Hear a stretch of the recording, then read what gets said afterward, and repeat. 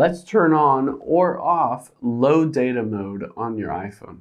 Now, if you don't want to use a lot of data, say you don't want to have auto refresh, you're on cellular network and you're running out of data, or if you're annoyed by things running slowly, you can toggle that low data mode either on or off depending on your needs. To do that, let's hop into our settings and we will tap on Wi-Fi.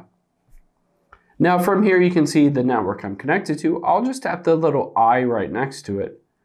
And you can see midway down here is a low data mode. And it says low data mode helps reduce your iPhone data usage over cellular networks or specific Wi-Fi networks. So when you turn that on, automatic updates, background tasks such as photo syncing are paused. So I can tap that on and I will enable low data mode or I can always turn that off if I don't want low data mode on my iPhone. Keep in mind that this will slow down certain things.